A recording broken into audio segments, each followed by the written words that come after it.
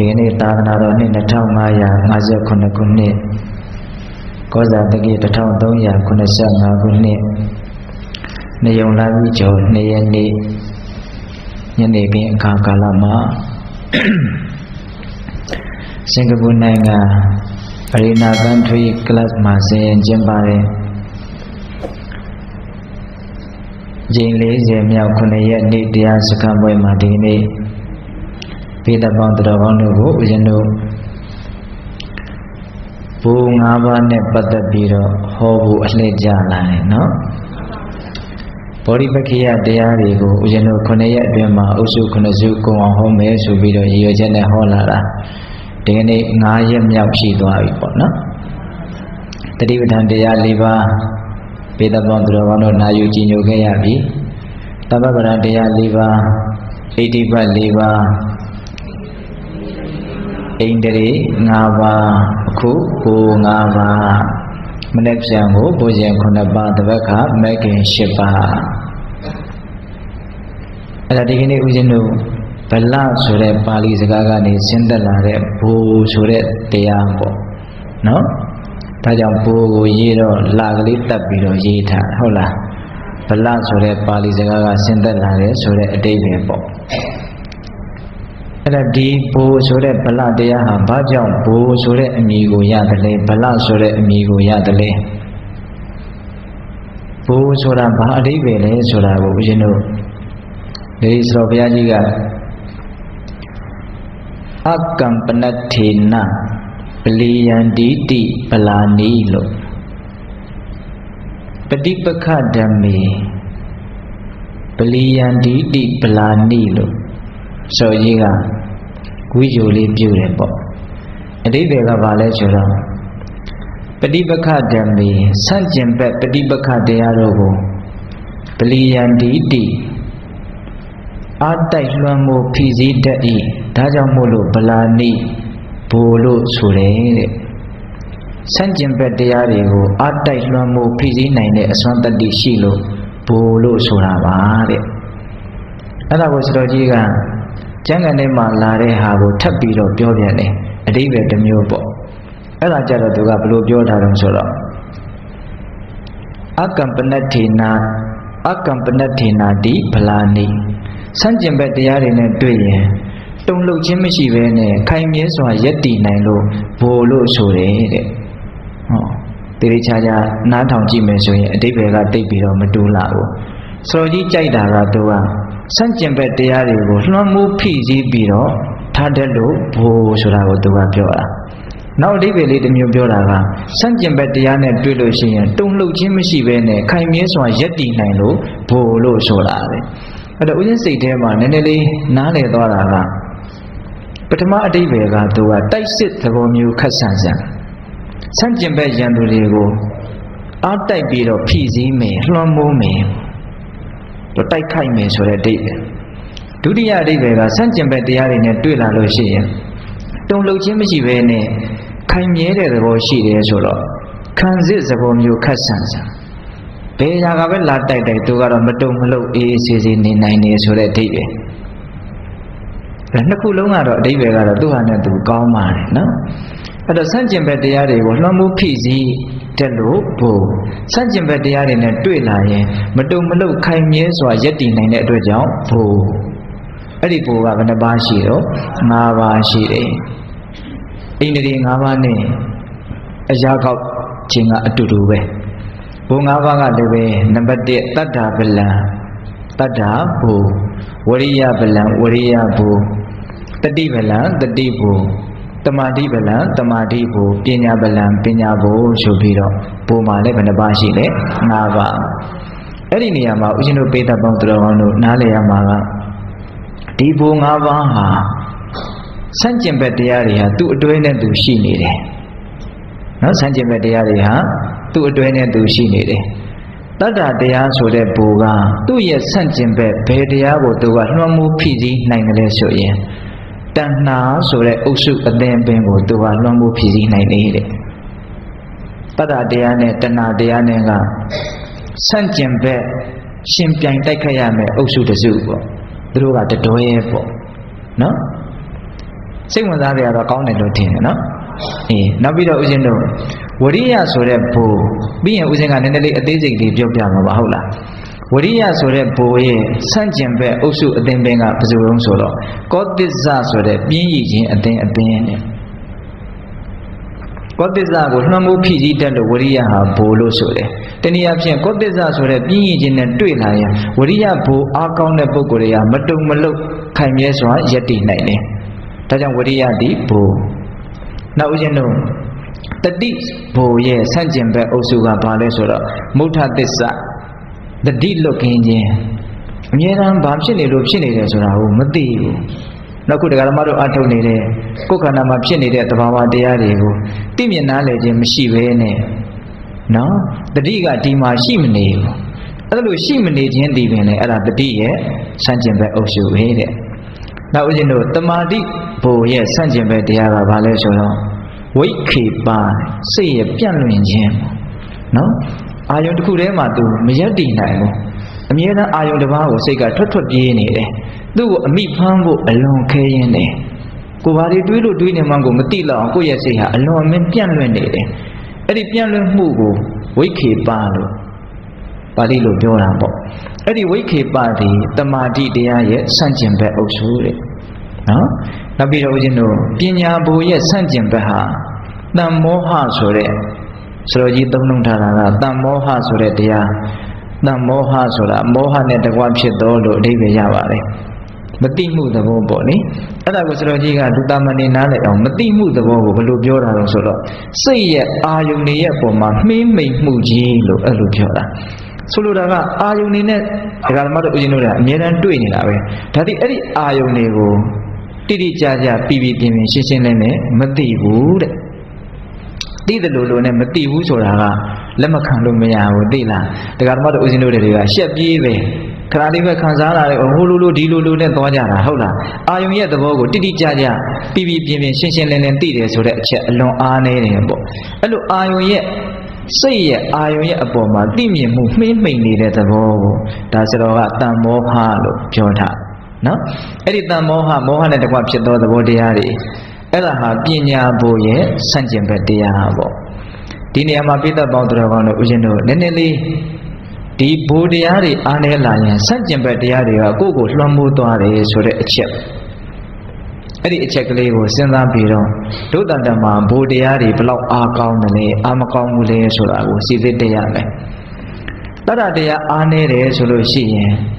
နော်တဏှာတရားကကိုယ့်ကိုအကြီးအကျယ်လွှမ်းမိုးသွားမယ် နော်ကာမမှာပျော်တာတွေဘဝမှာပျော်တာတွေလိုချင်တာတွေမမောတာတွေဖြစ်ချင်တာတွေအာကြီးပြီးတော့ဘဝမှာဖြစ်ရမယ်ဖြစ်ရမယ်ရရမယ်ရရမယ်ဒီအတိုင်းဝိုင်းလေးတဲ့ဒီအမြုံကလေးတွေကမထွက်ချင်တဲ့သဘောပေါ့ဝိတ္တာမိတဝိတ္တအာမိတနော်ဒါတွေမှာပြောနေတတ်တဲ့သဘောပေါ့အဲ့ဒါကိုဦးဇင်းတို့အကျဉ်းမြင့်တဏှာလို့နားလည်ရမှာ အဲ့ဒါတတ္တတရားဒီဟုသောဘူအားနေလို့ရှိရင်အဲ့ဒီတဏှာတရားကကိုယ့်ကိုအကြီးအကျယ်လွှမ်းမိုးသွားလိမ့်မယ်တဲ့ဆိုလိုကြီးကတော့သူကတော့ဥမာလေးနဲ့ပြောတယ်တရားတရားအားနေမယ်ဆိုလို့ရှိရင်တဏှာတရားကကိုယ့်ကိုဘယ်လောက်လွှမ်းမိုးသွားနိုင်လဲဆိုလို့ရှိရင်ကျွန်းသေးသေးလေးရဲ့အပြင်မှာရေပြင်ကြီးဟာပင်လယ်ကြီးတစ်ခုလိုထင်ရှားနေတဲ့သဘောမျိုးပေါ့ကိုယ့်ကိုအများကြီးလွှမ်းမိုးထား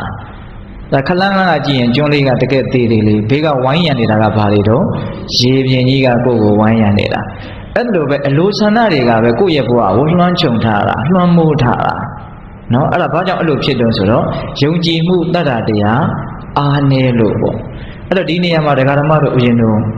တဏှာတရားကိုလွှမ်းမိုးဖိစီးပြီးတော့ဒီထဲကနေယုံကံထွက်ခြင်းနဲ့စိတ်ပေါက်ပြီးတော့ယုံကံထွက်ခြင်းဆိုတဲ့လက်တွေ့အကောင့်ထဲပေါ်မှုအပိုင်းမှာ ကိုယ့်ရဲ့တရားတရားအတိတ်အနဲ့တရားတရားအကြီးအသေးပေါ်မှာပူတည်ပြီးမူတည်ပြီးတော့ဘလောက်ကိုအလုတ်လုတ်တလဲဆိုတာဖြစ်လာတာဟိုဆိုကြပါစို့လက်တွေ့လေးပြောကြည့်မယ်တပ္ပရတံဓမ္မရတံဇိနာတိတရားအရသာဟာအရသာတကအရသာထဲမှာအကောင်းဆုံးလို့တော့ကြားဘူးတာပဲနော်တပ္ပရတိန်ဓမ္မရတိန်ဇိနာတိမွေးလျော်ခြင်းတကထဲမှာတရားနဲ့မွေးလျော်တာအကောင်းဆုံးလို့တော့လူတိုင်းကြားဘူးတာပဲ ဟုတ်လားချမ်းသာတကချမ်းသာထဲမှာနိဗ္ဗာန်ချမ်းသာဟာလည်းအကောင်းဆုံးလို့တော့ကြားဘူးတာပဲဒါ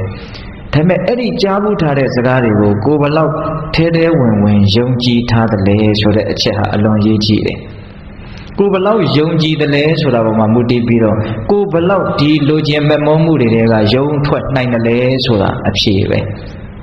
ဟုတ်တယ်မဟုတ်လားယုံရင်ယုံတဲ့လောက်လောက်တာဟုတ်ဗျမယုံရင်မယုံတဲ့လောက်မလုပ်ဘူးဒါကြောင့်တတ္တတရားအားကောင်းရင် ဒကာဓမ္မတို့ဥယျာဉ်တို့နေ့တူကပျော်မွေ့နေတဲ့ဒီအလုပ်တွေတဲကနေတသတသသူဟာခွာခွာခွာခွာလာလိမ့်မယ်နော်ဒီထဲမှာနစ်မနေဘူးပေါ့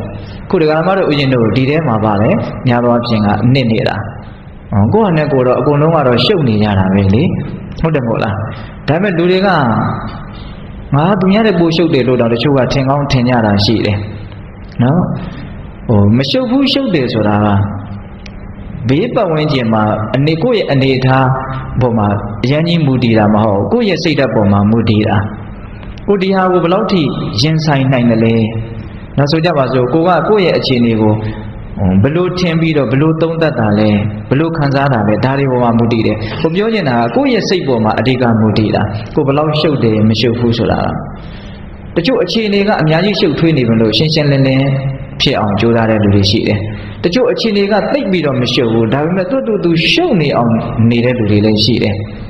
ဟုတ်လားတချို့အခြေအနေကသိပ်မရှုပ်ဘူး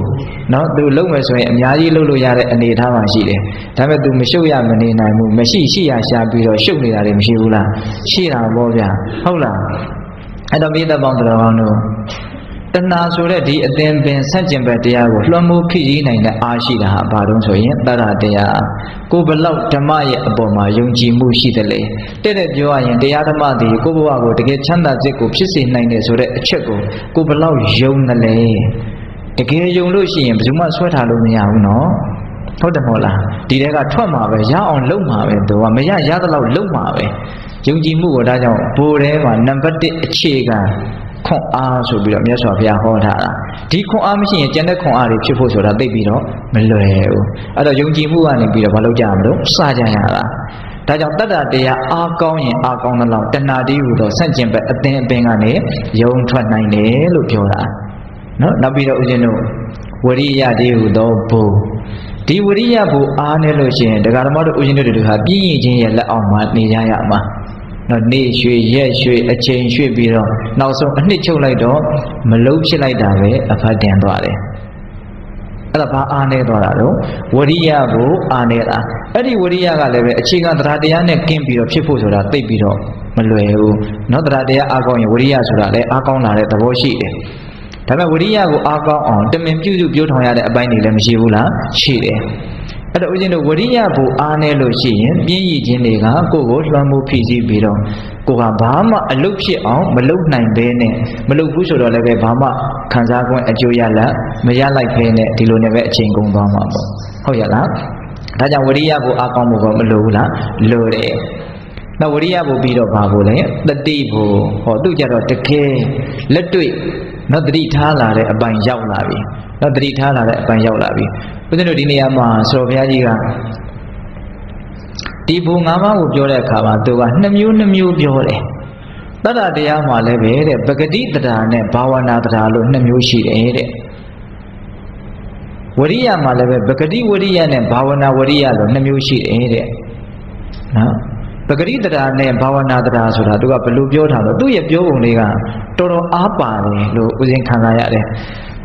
ဘာဝနာတရားတရားကိုသူကရကျင်တာဗောဓိပက္ခိယအရာမှာပဂတိတရားတရားကတော့တဲ့တဏှာနဲ့အလိုက်အထိုက်ပေါင်းပြီးတော့အပေါ်ယံကုသိုလ်လောက်ပဲလုပ်မယ်တဲ့ဟုတ်လားသူပြောတဲ့စကားလေးဒါအတိအကျပဲပဂတိတရားကတော့တဏှာနဲ့အလိုက်အထိုက်ပေါင်းပြီးတော့တဲ့သူကအဲ့လိုပြောထားတာဟုတ်လားအဲ့လိုပဲပဂတိဝရိယကတော့ပြင်းရည်ခြင်းကောတစ္ဆနဲ့အလိုက်အထိုက်ပေါင်းပြီးတော့အပေါ်ယံလွယ်တာလေးလောက်ပဲ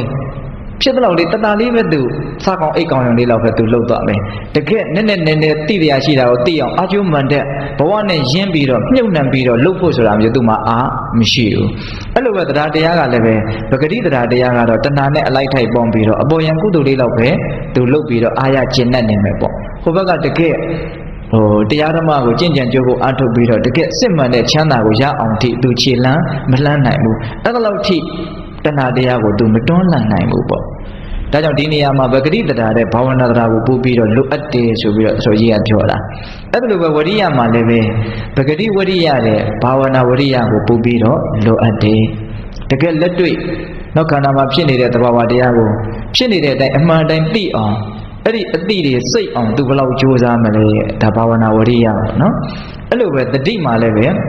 ပဂတိတတိရှိတယ်ဘာဝနာတတိရှိတယ်ပဂတိတတိဆိုတာကတော့တဲပြီးတော့ဒီနေရာမှာမလိုအပ်ဘူးဆိုတဲ့အတိပဲပေါ့နော်ဘာဝနာတတိကိုဆရာဘုရားကြီးကဦးစားပေးပြီးတော့ပြောတာအဲ့လိုပဲတမာတိပညာမှာလည်းနှစ်မျိုးနှစ်မျိုးရှိတယ်ဆိုပြီးတော့ခွဲခြားဝေဖန်ပြီးတော့ပြတယ်အဲ့တော့ဦးဇင်းတို့တတိအားမကောင်းဘူးတတိဘုံညံ့နေဆိုလို့ရှိရင်လည်းပဲမုဋ္ဌသစ္စာ တတိလွတ်တယ်ဆိုတဲ့အချက်ကပဲကိုယ့်ကိုလွှမ်းမိုးနေမှာအမြဲတမ်းတတိကလွတ်လွတ်နေတယ်ကိုယ်ခန္ဓာမှာတတိထားတဲ့အချိန်ဟာအလွန်နေတယ်ပေါ့နော်များသောအားဖြင့်တော့ဝိခေပပြန့်လွင့်ခြင်းဆိုတာနဲ့မုဋ္ဌမုဋ္ဌသစ္စာတတိလွတ်ခြင်းဆိုတာကဆက်ဆက်ပြီးတော့နေတယ်ဘုံဆိုတတိနဲ့တမာတိကလည်းဆက်ဆက်ပြီးတော့မနေဘူးလားတတိမရှိဘူးဆိုရင်တမာတိရှိနိုင်မလားမရှိနိုင်ဘူးဟုတ်လား အဲ့တော့ဒီမှာတတိလွတ်နေပြီဆိုရင်ရောတည်ငြိမ်နေဆိုတာရှိမလားမရှိဘူးတတိလွတ်တာနဲ့ပြန့်လွင့်နေပြီဝိခေပဖြစ်နေပြီဒါနောက်ထပ်အတွဲကိုနှံ့ပြီးတော့ပူပြီးတော့ဥစဉ်ပြောနေတာနော်တတိနဲ့တတိလွတ်ခြင်းကတတွဲတမာတိနဲ့ပြန့်လွင့်ခြင်းတွေကတတွဲဒါဆန့်ကျင်ဘက်အတွဲတွေပေါင်းမရတဲ့အတွဲတွေသူရှိရင်ဟိုဟာမရှိဘူးဟိုဟာရှိရင်သူမရှိဘူးတတိလွတ်တယ်ဆိုတာရှိရင်တတိမရှိဘူးတတိရှိနေရင်တတိလွတ်တယ်ဆိုတဲ့မုဋ္ဌသစ္စာမရှိဘူးအဲ့ဒါလိုပဲတမာတိရှိရင်ဝိခေပပြန့်လွင့်တယ်ဆိုတာမရှိဘူး ပြန့်လွင့်နေတာကြီးရှိနေရင်တော့တမာတိကတော့ရှိနေမှာမဟုတ်အဲ့တော့တရားဓမ္မတို့အရင်တို့ရဲ့စိတ်ဟာအမြဲတမ်းကိုထားလို့တဲ့နေရာမှာမနေတာပဲများတယ်အာယုံတစ်ပါးကိုပဲအမြဲတမ်းသူထွက်ထွက်သွားတယ်သူ့ကိုညင်ဝတ်အောင်ကိုဟာမဖိနိုင်ဘူးမနှိမ့်နိုင်ဘူးမထိန်နိုင်ဘူးမသိမ်းနိုင်ဘူးနော်အဲ့ဒီအချက်တွေဒီဓမ္မုဋ္ဌသစ္စာတတိလွတ်ခြင်းဟာဒီမှာရှိမနေဘူးဆိုရင်တော့တတိလွတ်နေတယ်ခိုးကိုရောက်နေတယ်ဆိုရင်တော့ပြန်လွင်နေပြီသဘောပေါက်လား အာယုံတစ်ပါးကိုရောက်နေပြီဆိုရင်တော့ဘာဖြစ်နေပြီတော့ဒါပြန့်လွင့်နေပြီအဲ့ဒီအာယုံလည်းပဲတစ်ခုတည်းကိုတော့မြင်မကအာယုံလည်းတစ်ခုတည်းကိုသူရက်တည်နေတာတော့မဟုတ်ဘူးဟိုရောက်လိုက်ဒီရောက်လိုက်ရာရောက်နေတာပဲဟုတ်လားဘယ်လောက်ဒီအခြေအနေကအဆိုးတုံဆိုတော့ရောက်နေတာကိုတောင်းဘာတွေကိုဘယ်တွေကိုရောက်နေတယ်ဆိုတာတောင်းတိတိကျကျမသိဘူးဒကာမတို့အရင်တို့မနေ့တုန်းက ပြင်ဘက်မှာပြင်ဘက်ခန္ဓာနဲ့ပတ်သက်ပြီးတော့မဟုတ်ဘဲနဲ့ဒီပြင်ပြင်ဘက်ကအရာတွေကိုတွေးတောခဲ့တဲ့အချိန်ပေါင်းဂရေပေါင်းများစွာမရေမတက်နိုင်အောင်ရှိလိမ့်မယ်အခုပြန်စဉ်းစားကြည့်ဘယ်အရာမှပြီးပြီးပြင်ပြင်ငါဘဲကိုဘာတွေတွေးခဲ့တာလဲဆိုတာတော့မသိဘူးနောက်စောတော်တုန်းကဒီတဲ့ထိုင်ကစားကအတွေးပေါင်းများစွာမရေမတွက်နိုင်အောင်ရှိလိမ့်မယ်ပြန့်လွင့်ရတဲ့အထက်ပြန့်လွင့်သွားတာကိုလည်းပဲမသိနိုင်ဘူးဆိုတာကိုပြောတာ ဟုတ်လားဘလောက်ပြန့်လွင့်သွားတယ်ဘယ်နေရာကိုရောက်ခဲ့တယ်ငါဘာတွေတွေးခဲ့တယ်လို့တိတိကျကျမသိနိုင်ဘူးအပုံတရားပုံလို့တပုံမသိနိုင်ဘူးဟိုအပုံတသောပုံနဲ့တပုံသိမယ်မထင်ပါဘူးဒါဦးဇင်းတို့ကစဉ်းစားကြည့်တာဟုတ်လားအဲ့ဒါပိဿပေါင်းတော်ကောင်းတို့တမာတိဆိုတဲ့ဘူအားနေမယ်ဆိုရင်လည်းပဲဝိခေပဆိုတဲ့ပြန့်လွင့်ခြင်းတရားတွေကကိုယ့်ကိုလွှမ်းမိုးပြီးတော့နော်တွေ့မိတွေ့ရတွေတွေ့ငေးမိငေးရတွေငေးပြီးတော့သူကဘယ်ထိရောက်သွားတဲ့တုံးဆိုလို့ရှိရင် ဥဒိစ္စဆိုတဲ့ပူပန်ခြင်းနဲ့ရောသွားတတ်တယ်နော်ဥဒိစ္စဆိုတဲ့ပြန့်လွင့်ခြင်းဟာကုတ်ကုတ်ဆဆိုတဲ့ပူပန်ခြင်းနဲ့ရောသွားတတ်တယ်ဒါကြောင့်ဦးဇင်းတို့និဝရဏတရားတွေထဲမှာဥဒိစ္စကုတ်ကုတ်ဆនិဝရဏလို့အတွဲသုံးထားတာမရှိဘူးလားနော်ပြန့်လွင့်တယ်တွေးမိတွေ့ရတယ်တွေ့ရင်နောက်တော့သူကနောင်တတွေတဲ့ကိုရောက်သွားတတ်တယ်ငါလုံးမိတာတွေမှားလိုက်တာငါမလုံးမိတာတွေမှားလိုက်တာမဟုတ်တာတွေလုံးမိရင်လည်းသူကနောင်တရတယ်ဟုတ်တာတွေနဲ့လွဲချော်မိရင်လည်းနောင်တရတယ် ဒါကြောင့်ဝိခေပအသင်းကြီးဟာလည်းပဲအန္တရာယ်တော့ရှိနေတယ်ဟုတ်ရဲ့လားဒါကြောင့်ပိဿပေါင်းတော်ကတော့တမာတိရဲ့ဆန့်ကျင်ဘက်ဒီဝိခေပအဲ့ဒါလိုပဲပညာဘူရဲ့ဆန့်ကျင်ဘက်ကြတော့တန်မောဟလို့ဆိုကြီးကပြောထားတယ်တန်မောဟဆိုတာအာယုန်တွေကိုကိုယ့်ရဲ့စိတ်ဟာမှန်မှန်ကန်ကန်တိတိကျကျရှင်းရှင်းလင်းလင်းမသိနိုင်မမြင်နိုင်တာနော်ဒါဆရာတော်ကြီးသုံးလုံးထားတာပေါ့အဲ့တော့ဦးဇင်းတို့တကယ်တမ်းကအာယုန်ရဲ့သဘောတဘာဝ တွေ့ကြုံရတဲ့အခြေအနေအသီးသီးတို့ရဲ့သဘောတဘာဝဟာဖြစ်ပေါ်လာကြတယ်ပြီးဆုံးသွားကြတယ်ဆိုတဲ့အချက်ပဲအဲ့ဒီအချက်အနိစ္စလက္ခဏာကိုဒါမသိဘူးဆိုလို့ရှိရင်ဒါမောဟလို့ပြောရမှာပဲဟုတ်တယ်မို့လားအေးအဲ့ဒီမောဟအုပ်စုကြီးဟာသိမြင်နားလည်ခြင်းပညာတရားရဲ့ဆန့်ကျင်ဘက်ပါတဲ့ အဲ့ဒါဦးဇင်းတို့ဘိုးဆိုတာရဲ့အတိတ်ပဲဟာအဲ့ဒီဆန့်ကျင်ဘက်တွေနဲ့တွဲပြီးတော့နားလည်မှပို့ပြီးတော့ရှင်းတဲ့သဘောရှိတယ်အဲ့ဒီသူ့ဆန့်ကျင်ဘက်ကိုသူအတိအသီးလွှမ်းမိုးဖိစီးထားနိုင်တယ်အဲ့ဒီဆန့်ကျင်ဘက်တွေကိုမလှုပ်နိုင်အောင်လှုပ်ထားနိုင်တယ်ဆိုရင်အဲ့ဒါဘာလို့ဘိုးပဲနောက်တနည်းကတော့အဲ့ဒီဆန့်ကျင်ဘက်တရားတွေကြောင့်မတုံမလှုပ်အခြေခိုင်မြဲစွာယက်တည်နိုင်တယ်ဆိုရင်အဲ့ဒါပါလေဘိုးပဲ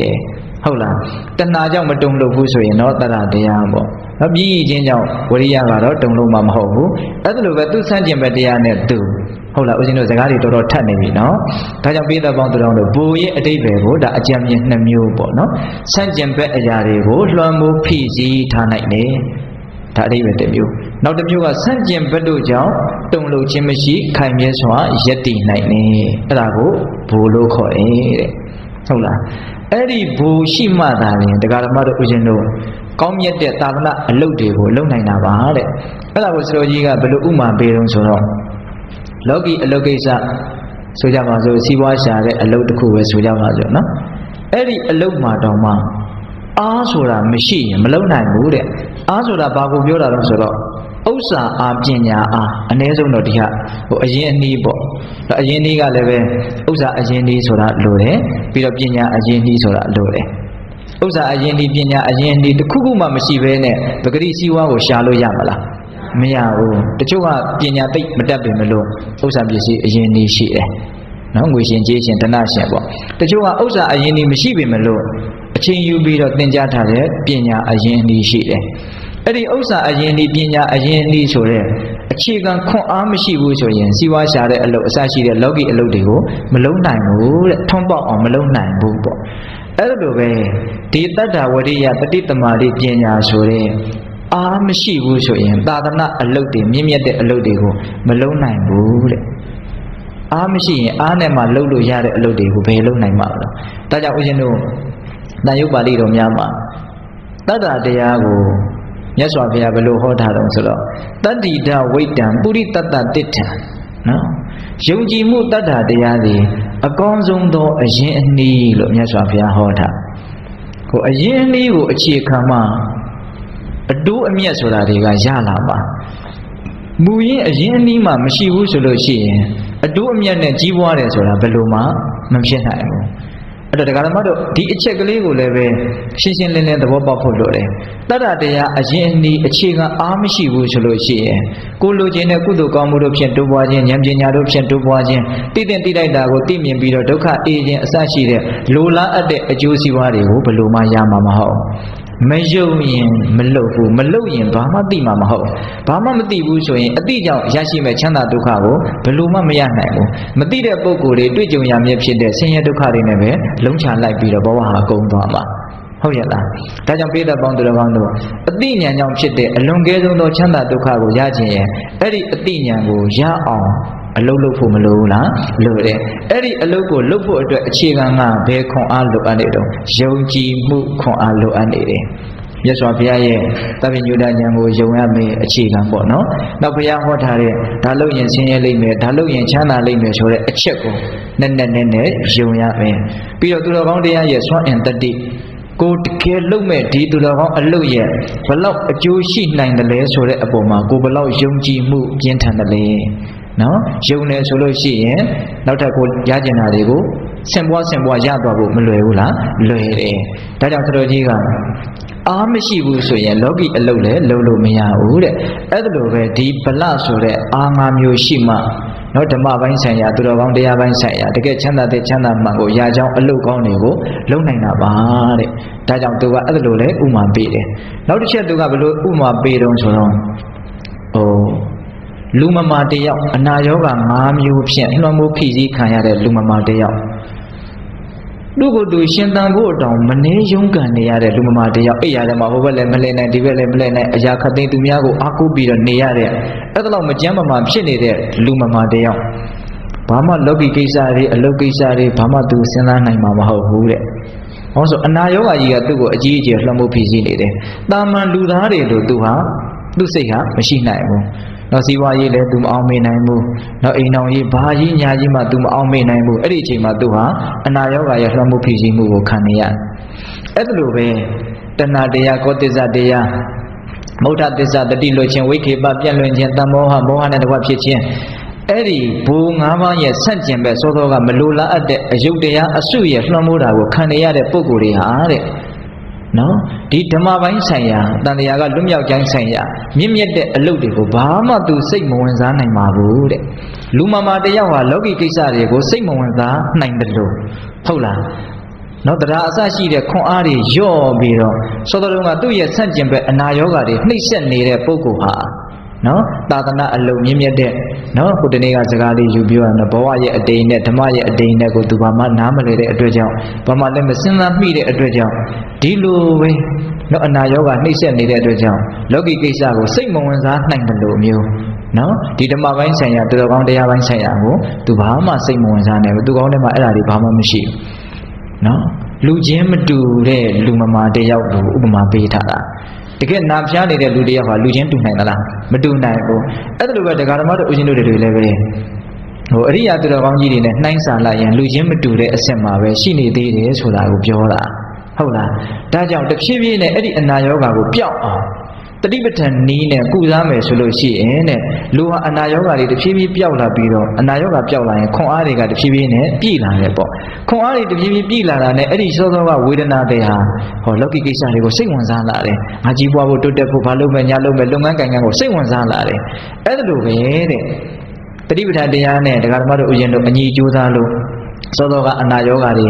နဲ့တူတဲ့တရားစိုးတွေကလွတ်သွားတယ်ဆိုရင်တဖြည်းဖြည်းနဲ့ခွန်အားတွေကစိတ်ဝင်လာတယ်တရားတရားတွေထက်လာတယ်နဝရိယတွေထက်လာတယ်တတိတွေတမာရီတွေပညာတွေထက်လာတယ်ဆိုလို့ရှိရင်ဟောသူတော်ကောင်းအလုပ်ကိုအများကြီးစိတ်ဝင်စားလာတယ်တဲ့ဒါကလည်းဖရာတော်ကြီးပေးတဲ့ဥမာတစ်ချက်ပေါ့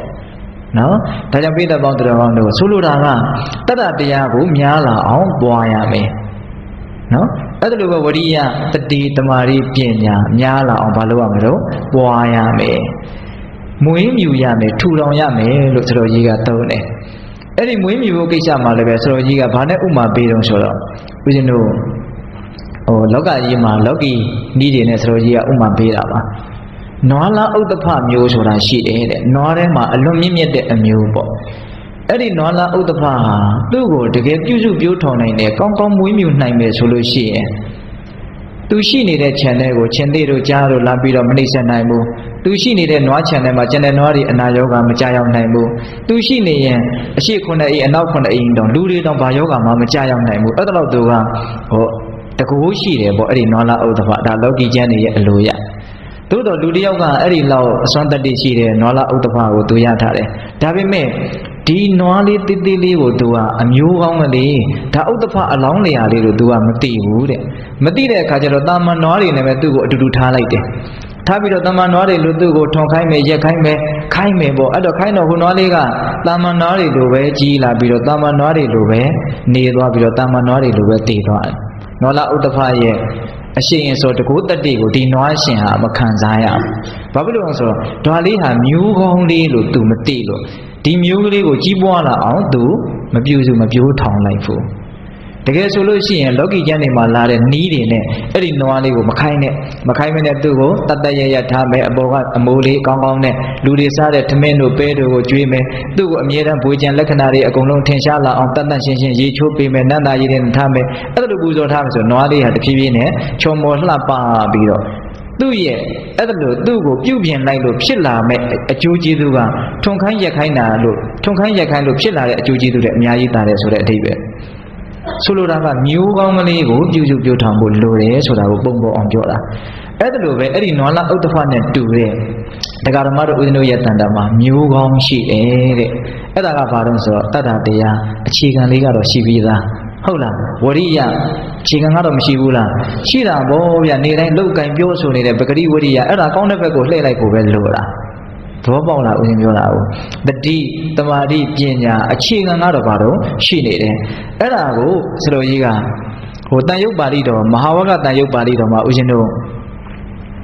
ဒီတတိကိုဘလို့ကြီးပွားအောင်ပြောထောင်ရမယ်ဝရိယကိုဘလို့များပြားအောင်လုပ်ရမယ်အဲ့လိုပဲတမာတိပညာတရားတွေဘလို့ဖြစ်အောင်လုပ်ရမယ်ဆိုတဲ့နိလန်းတွေမြတ်စွာဘုရားဟောထားတာရှိတယ်အဲ့ဒီဒေသနာတော်အသီးသီးမှာလာတဲ့နီလန်းများနဲ့ကိုယ်တန်တမှာရှိတယ်စောစောကနွားလာဥတ္တဖလေးနဲ့တူတဲ့ တတ္တာဝရိယတတိတမာရိပညာဆိုတဲ့ဒီမျိုးကောင်းလေးတွေကိုကြီးပွားလာအောင်ပြုစုပြောထောင်ရပဲတဲ့မြတ်စွာဘုရားဟောထားတဲ့ဒေသနာနီးနေပေါ့အဲ့ဒါလိုပြုစုပြောထောင်လိုက်လို့တတ္တတရားကလည်းပဲဘိုးအဆင့်ကိုရောက်လာပြီဝရိယကလည်းပဲဘိုးအဆင့်ကိုရောက်လာပြီအဲ့ဒါလိုပဲတတိတမာရိပညာအလွန်ခွန်အားရှိလာပြီဆိုတာနဲ့အများကြီးအကျိုးကျေးဇူးကိုခံစားရတော့မှာဟုတ်လားဆန့်ကျင်ဘက်တရားတွေကိုတိုက်ခိုက်ပြီးတော့ လောကကြီးရဲ့တကယ်ချမ်းသာအစ်စ်ကိုအဲ့ဒီဘိုး၅ပါးရဲ့ခွန်အားနဲ့သူရမယ်ဒါကြောင့်ဒီတရားတွေကိုကြီးပွားအောင်ဘာလုပ်ရမှာတော့ပြုစုပြောထောင်ရမယ်နော်ကိုယ့်ရဲ့တရားတရားကိုယ့်ရဲ့ဝရိယတရားကိုယ့်ရဲ့တတိတရားတွေကိုပေါက်လွတ်ပဲသာပြစ်မထားနဲ့လို့ပြောတာတရားဓမ္မတို့ဦးဇင်းတို့လုံးမယ်ဆိုရင်ဖြစ်နိုင်တယ်ဆိုတာကိုပြောတာဟုတ်ရဲ့လားတော့လုံးမယ်ဆိုရင်ဘာတော့ဖြစ်နိုင်တယ်စိတ်ဆိုတာစိုက်လိုက်တဲ့နေရာမှာစူးသွားတဲ့သဘောရှိတယ် နော်စီးပွားရေးပဲစိုက်လိုက်ရင်လည်းစီးပွားရေးပဲစူးသွားတာပဲနော်ပညာရေးပဲစိုက်လိုက်ရင်လည်းပညာရေးပဲစူးသွားတာပဲနော်သူ့မှာအစွမ်းကတော့ရှိတာသိကြတယ်တရားဓမ္မပဲစိုက်လိုက်ရင်လည်းပဲတရားဓမ္မဘက်မှာသူများတဲ့တော့သာသွားတာပဲအဲ့လိုဆိုရင်စီးပွားရေးကြောင့်ဖြစ်သောချမ်းသာတဲ့တရားဓမ္မကြောင့်ဖြစ်သောချမ်းသာကတာမန်ပေါ့နော် တာလို့မို့မြတ်စွာဘုရားကအဲ့ဒီကိစ္စကိုပဲတွန်းအားပေးပြီးတော့ဟောသွားတာပဲမဟုတ်လားမြတ်စွာဘုရားကတတ္တဝါတွေကိုအလုံးကောင်းစားစေခြင်းနဲ့ဆိုတာလေတရားဓမ္မတို့အရှင်တို့ယုံမိသားဟုတ်လား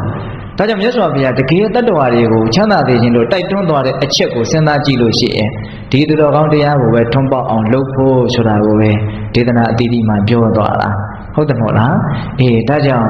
တရားဓမ္မတို့ဥဒ္ဓရဲ့တဏ္ဍာမှာရှိတဲ့ဒီမျိုးကောင်းလေးကိုနော်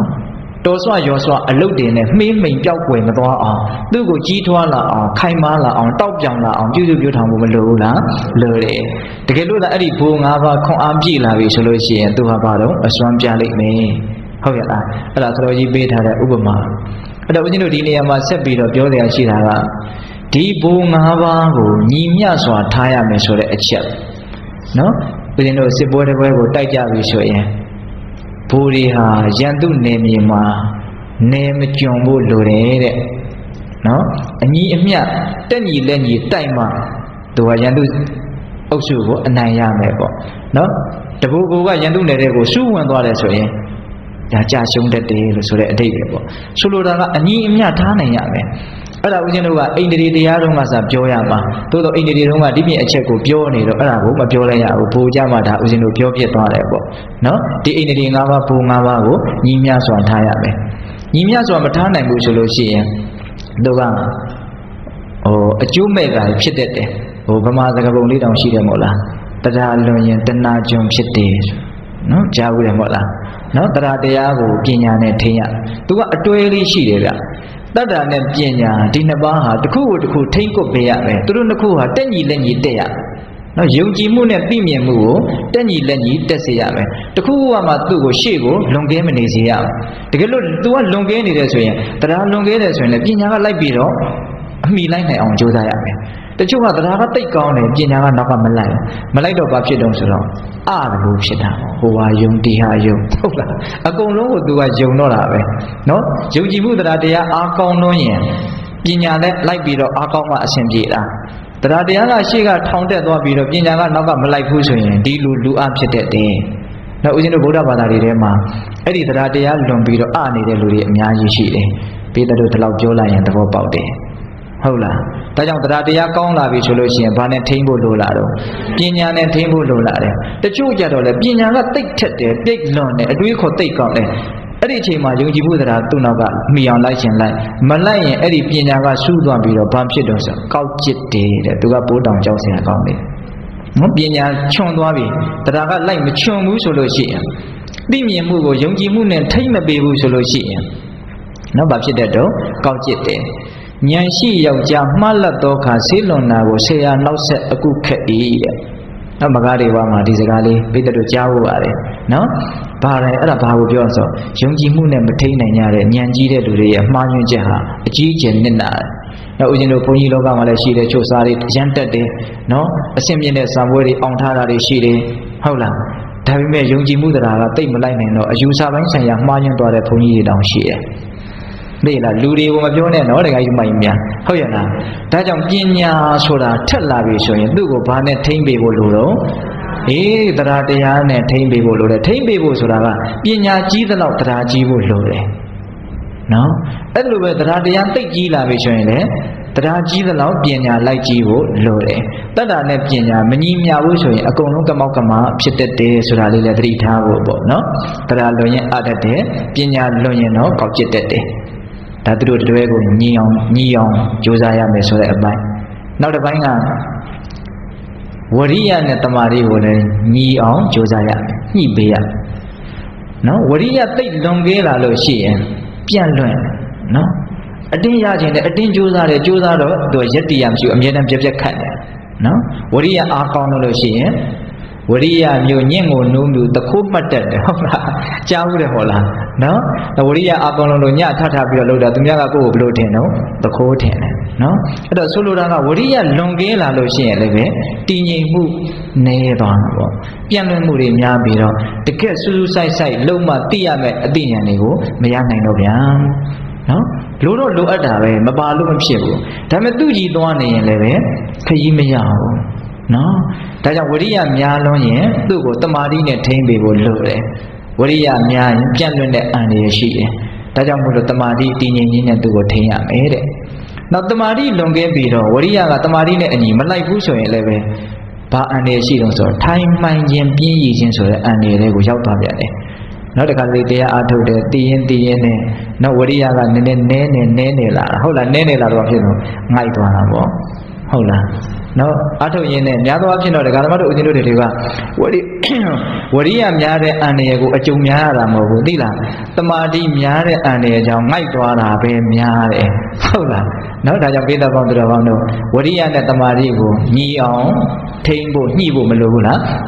လိုတယ်နောက်တစ်ပါးကိုဒါကိုတော့စာကဦးဇင်းတို့အိန္ဒြေကိုညီအောင်ညှိရမယ်ဆိုအိန္ဒြေအပိုင်းမှာပြောထားတာပါဟုတ်ရဲ့လားအေးနောက်တစ်ပါးကြံနေတော့တတိကြံနေတယ် တတိကတော့ပူဒီဟူ၍မရှိတဲ့တတိကတော့အဲ့ဒါရှိသလောက်သာလွတ်ပေတော့တတိကိုထိမ့်ကြရမလို့နော်တတိကတော့သူသူထိမ့်မိသားနော်တတိကတော့များလေကောင်းလေပေါ်လေကောင်းလေပဲအချိန်မိထားနိုင်လေကောင်းလေပဲနော်တတိဟူသည်ပူဒီမရှိတဲ့နော်ဒါကြောင့်ပိဿပေါင်းသူတော်ကောင်းတို့ဒီအိန္ဒြေ၅ပါးဒီငပူ၅ပါးကို နော်တကယ်အလုံးလုံးကြတဲ့အခါမှာညီမျှအောင်ထားနိုင်ဖို့မလိုဘူးလားလိုတယ်အဲ့တော့ကိုယ့်ကိုယ်ကိုပြန်ပြီးတော့စီစစ်တတ်တဲ့ဉာဏ်ကလေးဥသိရမှာပေါ့နော်ငါတရားတရားတွေလွန်နေသလားအဲ့ဒါဆိုရင်တော့ငါတတိထားရမယ်အသွားလိမ့်မယ်နော်ဓမ္မမို့ငါပညာတရားတွေလွန်နေသလားအဲ့လိုဆိုရင်တော့သတိထားလိမ့်မယ်ငါကောက်ကျစ်တဲ့အပိုင်းကိုရောက်သွားလိမ့်မယ်အတွေးတွေချော်တဲ့အပိုင်းကိုဟိုမများဘူးလို့ဆိုလိုတာမဟုတ်ဘူးတရားတရားများရင်ပညာလည်းလိုက်များ ပညာများရင်လည်းတရားတရားလည်းလိုက်များအဲ့လိုသူတို့နှစ်ခုဟာတစ်ခုကိုတစ်ခုဟန်ချင်းညီအောင်ထိနိုင်ရမယ်လို့ဆိုလိုတာများတာကတော့ဘယ်ဟာများများကောင်းတာကြီးပဲတကယ်တမ်းကတော့ဟုတ်တယ်မဟုတ်လားတို့တော့တရားတရားကြီးများပြီးတော့ပညာကကြံနေရမှာဆိုလို့ပြောတာပညာကြီးများပြီးတော့တရားတရားကြံနေရမှာဆိုလို့ပြောတာသဘောပေါက်တယ်မဟုတ်လားအေးဒါကြောင့်ပိဿကောင်းသူတော်ကောင်းတို့ ဒီအိန္ဒိယ၅ပါးပုံ၅ပါးကိုညီအောင်ညှိဖို့မလိုဘူးလားလိုပါတယ်ဟုတ်လား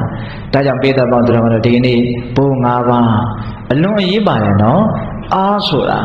နော်ဘာအလုပ်ကိုပဲလှုပ်လှုပ်အခုတရားဓမ္မတို့အရင်တို့ဒါသူတော်ကောင်းအလုပ်နဲ့ပတ်သက်ပြီးတော့ပြောနေတဲ့အပိုင်းဆိုတော့နော်ဒီအားရှိဖို့ဆိုတာကအလွန်အရေးကြီးတဲ့အနေအထားမှာမရှိဘူးလားရှိတယ်ဒါကြောင့်တရားတရားအားကောင်းလာအောင် ယုံကြည်မှုကိုဖြစ်စေတဲ့ကြိုးကြောင်ယုတ်တိဆင်လျော်တဲ့နော်စကားတွေကိုအများကြီးနားထောင်ဖို့လိုတယ်တချို့နော်ဘာသာတရားကိုစိတ်ဝင်စားလို့လေ့လာကြတယ်ဆရာကောင်းတမကောင်းနဲ့မတွေ့တာလို့နော်မယုတ်ချွေယုတ်မာတို့နဲ့တွေ့သွားတာမျိုးကြောင့်ဘာသာတရားရဲ့စစ်မှန်တဲ့အဆုံးအမကိုမရဘဲနဲ့နော်လွဲချော်တဲ့အဆုံးအမတွေကိုရပြီးတော့တရားတရားပျက်စီးကြတာတွေရှိတယ်နော်တရားတရားပျက်စီးသွားတာရှိတယ် အဲ့လိုမျိုးမဖြစ်အောင်ကိုယ့်ရဲ့တရားတရားကိုခိုင်မာစေမယ့်တရားတရားကိုကြီးပွားစေမယ့်တကယ်စစ်မှန်တဲ့အဆုံးအမကောင်းနဲ့တွေ့ဖို့မလိုဘူးလားလိုတယ်တကယ်စစ်မှန်တဲ့မှန်ကန်တဲ့သူတော်ကောင်းနဲ့လည်းတွေ့ဖို့လိုတယ်ဆရာကောင်းသမားကောင်းနဲ့လည်းတွေ့ဖို့လိုတယ်ဒါကြောင့်ပြည်သက်ကောင်းသူတော်ကောင်းတို့တရားတရားကိုဖြစ်စေတဲ့တုတ်တန်ဒေသနာတွေကိုအများကြီးလေ့လာပြီးတော့ယုံကြည်မှုဆိုတဲ့တရားတရားကိုခိုင်မြဲအောင်တည်ဆောက်ပြီးတော့ယူကြရမယ်နော်တရားတရားဘိုးအားကောင်းအောင်ကြိုးစားရတယ်ပေါ့နောက်ပြီးတော့ဝရိယတရား နဝရိယရဲ့အကျိုးကျေးဇူးတွေကိုသိမြင်နားလည်ပြီးတော့ပြည်ချင်းရဲ့အပြစ်အနာစာတွေကိုလည်းသိမြင်နားလည်ပြီးတော့နောက်လူဘဝကိုယာတော့ရခိုက်ကြိုးစားမှသာလျှင်ခီးပေါက်လိုက်မယ်အဆရှိသဖြင့်ဝရိယနဲ့ပတ်သက်ပြီးတော့တိုးတက်စေတဲ့တရားစကားတွေကိုလည်းအများကြီးကြာဝနာပါရှိအောင်ကြိုးစားရမယ်ဒါတွေတိုးတက်ဖို့ဆိုတာကတော့အဓိကဥစဉ်ထင်တယ်နော်တရားကိုတကယ်လေးလာလိုက်စားပြီးတော့နာယူဖို့စာပေတွေကို လေ့လာဖတ်ရှုဖို့နော်တကယ်ကောင်းမြတ်တဲ့ပုံကိုယ်တွေနဲ့ပေါင်းတင်ဆက်ဆံဖို့လိုတယ်အဲ့ဒီအချက်တွေဟာပြင်ဘက်ကနေပြီးတော့ကိုယ့်ကိုဟိုအားကောင်းနေစီးဝင်လာဖို့အတွက်အကောင်းဆုံးအထောက်အကူပြုနေမယ်အကြောင်းတရားတွေပေါ့ဟုတ်လားဒါကြောင့်တရားစာတွေကိုအများကြီးလေ့လာရမယ် နော်တရားတွေကိုလည်းအများကြီးနာရမယ်ဟိုစာကြီးဖတ်ရုံနဲ့တော့လည်းမလုံလောက်ဘူးနော်စကားကိုနားထောင်ရတာကတခါတလေကြတော့အဲ့ဒီပုဂ္ဂိုလ်ရဲ့ဆိုလိုချက်တွေကိုအားပါပါကြားရတဲ့အတွက်ကြောင့်ပို့ပြီးတော့စိတ်ဓာတ်ကိုအားတက်စေတယ်ပို့ပြီးတော့ကောင်းတဲ့အပိုင်းရှိတယ်နော်ပြီးတော့စာမပါလို့လည်းမရဘူးစကားကြီးနားထောင်တာကစာလောက်တော့သူကအနှစ်တွေစိတ်ပြီးတော့ပြစ်ပြီးတော့အဲ့လောက်ခဲပြီးတော့တော့မနေဘူးစကားပြောတယ်ဆိုတာကအကြောင်းအရာလေးတစ်ခုကိုအကြာကြီးပြောရတာ ဟုတ်တယ်မို့လားစာဖတ်တယ်ဆိုတာကခဏလေးနဲ့အတိပ္ပယ်လေးနဲ့တာတွေအများကြီးအဲ့ဒီမှာရှိတယ်အဲ့တော့စာလည်းဖတ်ဖို့လိုတယ်တရားလည်းနာဖို့လိုတယ်ပြီးတော့ကိုနေ့တူကပေါင်းတင်ဆက်ဆံနေတဲ့ကိုယ့်ရဲ့အပေါင်းအသင်းတွေဟာလည်းပဲဉာဏ်ပညာကြီးတဲ့သူတော်ကောင်းစိတ်ဓာတ်ရှိတဲ့ပုဂ္ဂိုလ်တွေဖြစ်ဖို့လိုတယ်အဲ့ဒါတွေရဲ့ကောင်းမြတ်တဲ့ဓာတ်တွေဟာကိုယ့်ဒီကိုကူးဆက်လာဖို့လိုတယ်နော်သူတော်ကောင်းကိုပေါင်းတယ်ဆိုတာကသူတော်ကောင်းတရားသိရေးကိစ္စမှာနံပါတ်1အခြေခံအရေးကြီးဆုံးပဲဗျဟုတ်လားအဲ့ဒါဒီပေးတဲ့လို့နားလည်ပြီးသားပါ နော်ဒါကြောင့်အဲ့ဒီအခြေအနေအရရက်တွေကိုကြိုးစားအထုတ်ပြီးတော့ဝရိယတိဟုသောဘိုးကိုဖြစ်အောင်ကြိုးစားကြရမယ်နော်အဲ့ဒါလိုပဲတတိတမာတိပညာဒီဘိုးတွေကိုများလာအောင်တရားဓမ္မတို့ဥရှင်တို့ကြိုးစားရမယ်သူတို့များလာပြီဆိုတော့မှဒီများလာတဲ့ခွန်အားတွေနဲ့လုပ်ရမယ့်အလုပ်တွေကိုကိုဟာပြည်ပြင်းအောင်လုပ်နိုင်တော့တယ်အဲ့ဒီကြတော့မှကိုလိုချင်တဲ့အထွတ်ထိပ်ချမ်းသာဆိုတာရမှာဟုတ်လားအဲ့တော့တရားဓမ္မတို့ဥရှင်တို့ ယုံညံ့သောတရားဖြင့်မြင့်မြတ်သောတရားကိုမရနိုင်မြင့်မြတ်သောတရားဖြင့်သာလေမြင့်မြတ်သောတရားကိုရနိုင်တယ်လို့နော်အကေနသခောဘိက္ခဝေအကတ္တပတ္တိဟောတိနော်အမျက်ဖြစ်တာနဲ့အမျက်ကိုရနိုင်တယ်လို့ပြောတာအခုဒီနားမှာဦးဇင်းတို့လည်းပြောနေတယ်တခါကြီးဒီမိုင်းမြတ်လည်းလာပြီးတော့နားထောင်နေတယ်ရည်ရွယ်ချက်ကဘာလဲလောကကြီးမှာအကောင်းဆုံးဆိုတာကိုရခြင်းလို့ရောက်လာတာပေါ်သေးသေးမဟုတ်နော်ကိုရခြင်းတာကအသေးလေးမဟုတ် နော်တခါကြီးဒီမိုင်းတို့ဦးဇင်းတို့ရခြင်းတာကအကြီးဆုံးကိုရခြင်းလေတာလောကမှာအကြီးဆုံးဟာသူတော်ကောင်းချမ်းသာပဲသူတော်ကောင်းတရားပဲဒါဟာအမွန်မြတ်ဆုံးအကြီးကျယ်ဆုံးပါပဲအဲ့တော့အကြီးကျယ်ဆုံးကိုရခြင်းရင်တော့အကြီးကျယ်ဆုံးပိစပ်ဖို့အကြီးကျယ်ဆုံးကြိုးစားဖို့အကြီးကျယ်ဆုံးအားထုတ်ဖို့မလိုဘူးလားအေးဆိုလိုတာကကိုလိုချင်တာလေးကတိတိမဟုတ်ဘူးဆိုတာကိုအနားလည်ပြီးတော့နော်အကြီးကြီးနဲ့တန်တာကိုကိုဟာပေးနိုင်မှကိုလိုချင်တဲ့အကြီးကြီးကိုရမှာ ဟုတ်တယ်မို့လားနော်ကိုကအခုကလောကီကိစ္စမဟုတ်ဘူးဇီဝရေးကိစ္စမဟုတ်ဘူးဟုတ်တယ်မို့လားဘဝနဲ့ခြီးပြီးတော့တန်တရားနဲ့ခြီးပြီးတော့အကောင်းဆုံးဆိုတာကိုရကျင်နေတာနော်ဒါကိုစိတ်ဝင်စားလို့ဒီလမ်းကိုကိုအခုလိုက်နေတာဟုတ်တယ်မို့လားအဲ့လိုဆိုလို့ရှိရင်တရားတရားပဂရိတရားလောက်နဲ့တော့မရသေးဘူးဒီလိုပဲဝရိယတရားဟာလည်းပဂရိဝရိယလောက်နဲ့တော့မရသေးဘူး ဟုတ်လားဘာဝနာတရားတရားဖြစ်ဖို့လိုတယ်ဘာဝနာဝရိယတရားဖြစ်ဖို့လိုတယ်နော်စတော်ကြီးစကားကိုထပ်ပြောမယ်နော်ပဂရိတရားတရားကတော့တဏှာနဲ့အလိုက်ထိုက်ပေါင်းပြီးတော့တာမန်ကုသိုလ်လေးလောက်ပဲလုပ်မှာတဲ့ နော်ပဂတိဝရိယတရားကတော့ကောတိဇဆိုတဲ့ပြည့်ရည်ခြင်းနဲ့အလိုက်အထိုက်ပေါင်းပြီးတော့ပဂတိကုသိုလ်လောက်ပဲတာမန်ကုသိုလ်လောက်ပဲလုံးမှာတဲ့တာမန်ကုသိုလ်လောက်နဲ့တရားဓမ္မတို့အရှင်တို့ရကျင်တာကရမှာမဟုတ်ဟုတ်လားကိုကတမာတိပညာအစရှိတဲ့အင်မတန်ထူးကဲမြင့်မြတ်တဲ့ကုသိုလ်ကောင်းမှုတွေကိုရကျင်တာကိုနော်တဲ့တဲ့ပြောရရင်လောကုတ္တရာကုသိုလ်ကိုရပြီးတော့အဲ့ဒီလောကုတ္တရာကုသိုလ်ဖြင့်မျက်မှောက်ပြုနိုင်တဲ့နိဗ္ဗာန်ချမ်းသာကိုရကျင်တာကို ဟုတ်ရဲ့လားဒါကြောင့်ပိဿပေါင်းတော်ကောင်းတို့ဒီအားတွေတနည်းအားဖြင့်တတ္တဝရိယတတိတမာတိပညာဆိုတဲ့တရားတွေဟာတာမန်လေးလောက်နဲ့တော့အလုပ်ဖြစ်မှာမဟုတ်ဘူးဆိုတဲ့အတိတ်ပဲကိုလိုချင်တာကြီးရဖို့အတွက်အဲ့ဒါတွေကိုညှင့်ဖို့လိုတယ်ဆိုတာကိုပြောတာအခြေခံအဖြစ်တော့တရားဝရိယတတိတမာတိပညာကမရှိဘူးလားရှိတယ်သို့တော့အဲ့ဒါကဘိုးအဆင့်ရောက်အောင်တော့ မရှိသေးဘူးပေါ့ဟုတ်လားအဲ့တော့ဘိုးအဆင့်ရောက်အောင်သူ့ကိုကြီးပွားလာအောင်ကြိုးစားဖို့မလိုဘူးလားလိုတယ်ဟုတ်လားဘိုးအဆင့်ရောက်လာပြီဆိုရင်တော့သူဟာဆန့်ကျင်ဘက်တရားတွေကိုလွှမ်းမိုးဖြည့်ဆည်းထားနိုင်လိမ့်မယ်ဟောဘူဖြစ်ပြီဆိုမှတော့နိုင်မှာပေါ့ဟုတ်လားအေးဆန့်ကျင်ဘက်တရားတွေကတခါတရံကိုယ့်ကိုလမ်းပြီးတော့တိုက်ခိုက်လာပြီဆိုရင်လေကိုဟာသူတော်ကောင်းအလုပ်မှာကြက်ကြက်ခိုင်ကြီးရက်တည်ပြီးတော့ခိုင်မြဲစွာရက်တည်နိုင်လိမ့်မယ် နော်ထိုးစစ်လဲနိုင်တယ်ခံစစ်လဲပိုင်တယ်ဆိုတဲ့အနေအထားကဒီတရားတွေဟာဘိုးအဆင့်ရောက်သွားမှဆိုတာနားမလည်ဘူးလားနားလည်တယ်ဒါကြောင့်ပိဿပေါင်းတော်တို့ဒီကနေ့ဘိုးတရားနဲ့ပတ်သက်ပြီးတော့ဒါဦးဇင်းတို့ပြောပါတယ်ဟုတ်ရဲ့လားဦးဇင်းကဗောဓိပက္ခိယတရားကိုဟောဒီလိုရက်ရှည်တခါမှမပြောဘူးသေးဘူးအဲ့ဒါဦးဇင်းအခုပြောတာကိုဒါကိုယူသွားရမယ်ဒီကိုဟိုကိုဟုတ်လားအဲ့ဒါဒီလိုအစီအစဉ်လေးချပြီးတော့ ဒါကလည်းပဲသူ့အဆက်ကလေးနဲ့သူပြောရမှာပြောရတာကအရသာရှိတာဟိုနားလေးမှာဘိုးအကြောင်းပြောတယ်ဟိုနားကျတော့ဘိုးစဉ်အကြောင်းပြောတယ်လူတွေကကွဲနေဆိုကိုကပြောရတာတိတ်ကစိတ်ပြီးတော့စိတ်ကလည်းတိတ်ပြီးတော့မဝင်စားဘူးပေါ့ဟုတ်လားခုကျတော့ဒီလူဒီလူတွေကိုပဲတတိပဋ္ဌာန်အကြောင်းကိုပြောတယ်သမပဋ္ဌာန်အကြောင်းကိုပြောတယ်ပြီးတော့ဣတိပအကြောင်းကိုပြောတယ်အိန္ဒြေအကြောင်းကိုပြောတယ်ဘိုးအကြောင်းကိုပြောတယ်မနေ့ပြန်ဘိုးရှင်အကြောင်းကိုပြောမယ်တပတ်ခါမက်ကင်၈ပါးအကြောင်းကိုပြောမယ်ဘောဓိပက္ခိယတရား39ပါးဒါစုံသွားတော့ ဟောတင်တန်းတစ်ခုသဘောမျိုးလိုဖြစ်သွားတာပေါ့နော်အဲ့တော့ဒီအဲကဒကာကြီးဒီမကြီးများဂျာဘူးနာဝရှိပြီးသားနားလည်ပြီးသားတွေလည်းဒါအများကြီးပါပါတယ်ဟုတ်လားသို့တော့